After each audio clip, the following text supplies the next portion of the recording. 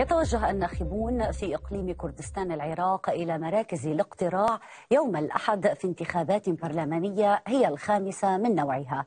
وكان من المفترض أن تجري هذه الانتخابات في نوفمبر الماضي إلا أنها تأجلت ثمانية أشهر بسبب الخلافات السياسية بين الحزبين الرئيسيين وأيضا بسبب إبطال بغداد لنتائج انفصال إقليم كردستان. ويتنافس المرشحون على الإقليم وعددهم 111 مقعدا في البرلمان من ضمنها 11 مقعدا للأقليات القومية والدينية في كردستان العراق. انتخابات برلمان إقليم كردستان. رهان آخر بعد الانتخابات الاتحادية. تلوح به الأحزاب الكردية لدعم مركزها في أربيل وفي بغداد. ما يقارب 800 مرشح يتنافسون على 111 مقعدا نيابيا يحتويها برلمان الإقليم. يحاولون جاهدين إغراء الناخبين الكرد بشتى الوعود لتغيير خارطة سياسية لم تتغير منذ عقود. إذا هو صراع حزبي كردي لفرض أجندة سياسية جديدة.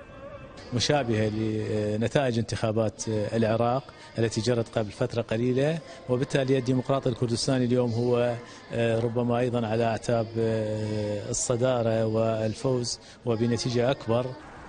لكن هذا لا يلغي أن هناك منافسين جدد وأقوياء داخل البيت الكردي يهددون بثلم مساحات النفوذ السياسي لأحزاب السلطة في كردستان. الاتحاد الوطني للأحزاب الأخرى.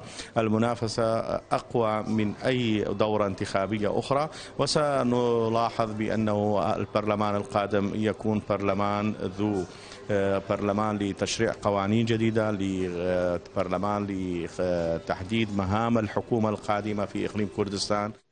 منذ إجراء أول انتخابات نيابية في الإقليم مطلع تسعينيات القرن الماضي.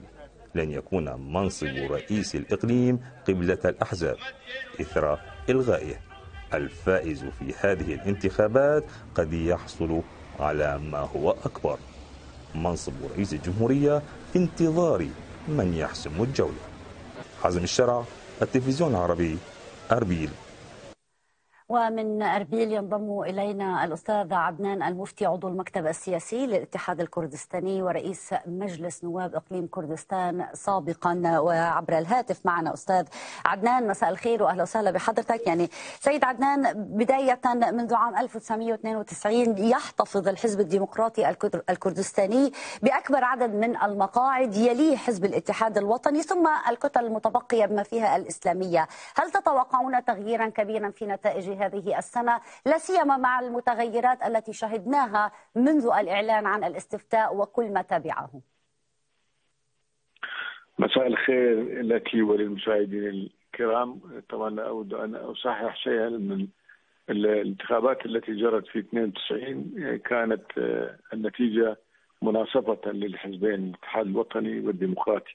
وبقيت هذه المناصفة سواء في نتائج الانتخابات أو في تقاسم الحقائب الوزاريه إلى 2009 2009 أيضا شهدت تغييرات كثيرة باعتبار أن حركة التغيير تأسست نتيجة انشقاقها من الاتحاد الوطني ومنذ ذلك الوقت طبعا بسبب أن الحزب الديمقراطي بقي متصدرا في عدد مقاعد في 2013 وإلى الآن لأنه أصوات الناخبين راحت قسم كبير منها إلى حركة تغيير. والآن لكن هذه المرة أعتقد الانتخابات تختلف لأن هناك أوضاع جديدة ومنافسة رجعت شديدة بين الاتحاد الوطني الكردستاني والحزب الديمقراطي الكردستاني. وأعتقد أن أيضا المستحقات على أي القوائم التي تفوز عليها استحقاقات كبيرة يطالب بها الشعب سنأتي على على ذكرها في سياق نقاشنا لهذه التحديات. ابقى معي أستاذ عدنان وينضم إلينا أيضا في هذا الحوار الأستاذ صبحي المندلاوي عضو الحزب الديمقراطي الكردستاني من أربيل. أهلا بك أستاذ صبحي. يعني بداية آه، ربما فشل مساعي الانفصال وإلغاء نتائج الاستفتاء. كل هذا كيف ستكون نتائجه تحديدا على آه، آه، حظوظ الحزب الديمقراطي لا سيما أن جزءا من الشارع الكردي اليوم يحمل هذا الحزب مسؤولية الاستفتاء وكل ما ترتب عليه نعم تحية لك ولأستاذنا الفاضل دكتور عدنان المفتي ولمشاهديكم الكرام نعم. آه، أعتقد بأن آه، النظرة ستكون معكوسة داخل إقليم كردستان.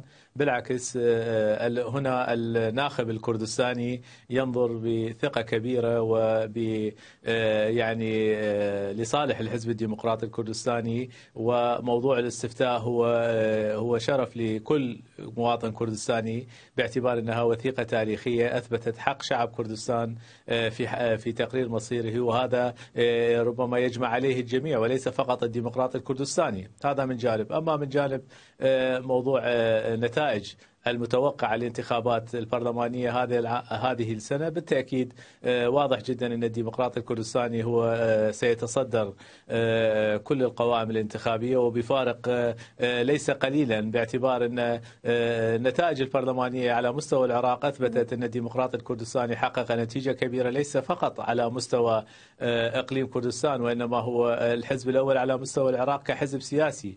وبالتالي ربما ستتكرر هذه النتائج والتصويت يوم أمس التصويت الخاص للعسكريين وأيضا الأجهزة الأمنية أعطت وبشكل واضح أن الديمقراطي الكردستاني تفوق ربما بنسبة أكثر من 51% وهذه النتائج متوقعة. التنافس سيكون على من سيكون على المركز الثاني أو الثالث بين الاتحاد الوطني وأيضا بين حركة التغيير وربما أيضا بين الجيل الجديد والحركة الإسلامية، هذه الأحزاب هم تركوا المركز الأول وهم يتنافسون على يعني, يعني المقاعد الأخرى المتبقية. نعم تشير التحليلات نعم يعني تستبعد الآن أن يكون هناك خروقات في هذه نعم. الانتخابات من قبل تكتلات وأحزاب جديدة.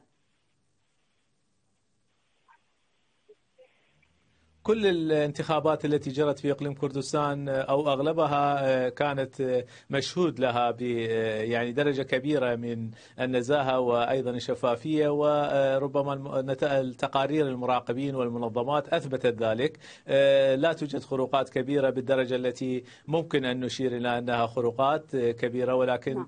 كحال أي انتخابات تجري في مناطق الشرق الأوسط بالتأكيد هناك يعني من هنا وهناك ولكنها لا ترقى ترقى إلى أن تكون خروقات كبيرة. نعم أعود لك أستاذ عدنان. أيضا يعني نفس التساؤل حول حظوظ آه، حزب الاتحاد الذي يحمله أيضا جزء من الشارع الكردي مسؤولية خسارة كركوك وتسليمها للجيش العراقي. فهل هذا سيؤثر على توجهات الناخب اليوم برأيك؟ أعتقد إن الأحداث آه، كلها تؤثر. ما جرى في كركوك وما جرى آه، هنا وقضية التجاوزات وعدم العدالة. ناس تطالب ب آه، كبيرة وقضية كركوك هي مسؤولية الجميع. وعلينا أن نعمل من أجل إعادة الأمور إلى ما كانت عليها قبل 2014 ما جرى ينبغي أن يقيم ومن ويدرس وأعتقد في البرلمان مسؤولية البرلمان أن يقوم بهذا الحساب. ولكن الانتخابات القادمة طبعا أنا اصحح ما قاله الأستاذ صبحي إن النتيجة لم تكن 51% وإن كانت النتيجة لصالح الحزب الديمقراطي في التصويت الخاص بحسب ما أعلن قبل ساعات من التلفزيون التابع للحزب الديمقراطي الكردستاني 48% من الأصوات الخاصة يعني ما صوت الايه و أكثر من 31% أيضا للاتحاد. طبعا إذا جمعنا الأصوات التي من الأحزاب التي خرجت من الاتحاد الوطني حكى حركة غوران وآخرين فايضا نجد أن النتيجة متقاربة. أنا لا أقول إن إن الحركات التي خرجت من الاتحاد هي نفس الاتجاه ونفس التوجه ولكن طبعا ايا كانت النتيجة فكردستان بحاجة إلى التعاون. الحزبين لا يمكن لأي نعم. حزب حتى لو فاز ب 70% أن يقود المرحلة القادمة لوحده لأن لأن المرحلة تتطلب. التعاون بين الجميع وخاصة الحزبين الرئيسيين لأنه مناطق النفوذ لا زالت هي هي والبيشمركه ليست موحدة مثل ما كنا نتمنى. وكذلك قوات الاسايس هناك مطالب كبيرة للشعب ما يتعلق بالميزانية ما يتعلق بالنفط والغاز المطالبه بالشفافية المطالبه بحل نعم. الاشكالات في بغداد التعاون مع بغداد بحاجة أن نكون قوة موحدة حتى نستطيع أن نطالب بالاستحقاقات الدستورية للإقليم نعم. وأعتقد إنها كثيرة لا سيما لا سيما عن مشاركة أيضا الكتلة الكردية في الحكومة العراقية المرتقبة. طيب أشكرك أستاذ عدنان. سؤالي الأخير لك أستاذ صبحي يعني ما بعد الانتخابات هو الاستحقاق الأهم؟ حيث أشار الأستاذ عدنان إلى يعني أهمية التوحد للتفاوض مع حكومة بغداد ولتنفيذ الاستحقاقات الدستورية لا سيما فيما يتعلق بمشاركة الكتلة الكردية في الحكومة العراقية. هل توصلتم بعد كأحزاب كبيرة في الإقليم إلى رؤية مشتركة حول كيفية تنفيذ هذه الاستحقاقات سيد صبحي؟ نعم أؤكد على ما قاله الأستاذ عدنان. بالتأكيد نحن مهما حصلنا على نتائج سنحتاج إلى أن نكون أن يوحد البيت الكردي وخاصة ربما نحن نختلف في الداخل الكردستاني ولكن علينا أن نتوحد وهذا ما نبغي إليه كحزب ديمقراطي كردستاني. والتحالف الأخير أو الاتفاق الأخير الذي جرى بين الديمقراطي والاتحاد الوطني الكردستاني واجتماعاتهم المكررة التي حملت برنامج سياسي موحد كنا في في بغداد معا وشاركنا بكل المباحثات مع الكتل الفائزة في بغداد لتحقيق هذا البرنامج الذي هو يخدم كردستان ويحل الأزمات وأيضا يخدم العراق ككل. وبالتالي لدينا طموح مشترك أن يستمر هذا التحالف على مستوى إقليم كردستان وأيضا على مستوى العراق عامة. وهو تحالف استراتيجي ناجع أثبت نجاحه في السنوات السابقة. في بغداد نحن بحاجة ماسة إلى أن نكون معا. وبالتالي الخطوات الأولى جرت. ونسير اليوم نحو تشكيل أو الانضمام إلى الكتلة الأكبر في بغداد. ربما هذا يتوقف على نوع الضمانات التي يقدمها الكتل الفائزة في بغداد إلى الكرد. ونبغي أن تكون هناك حكومة قوية حكومة شراكة حقيقية وأيضا حكومة توافق وتوازن وأيضا تطبيق لمواد الدستور دون تمييز بينها. نعم. شكرا لك الأستاذ صبحي المندلاوي عضو الحزب الديمقراطي الكردستاني وأيضا الشكر للأستاذ عدنان المفتي عضو المكتب السياسي للاتحاد الكردستاني. الثاني ورئيس مجلس النواب سابقاً.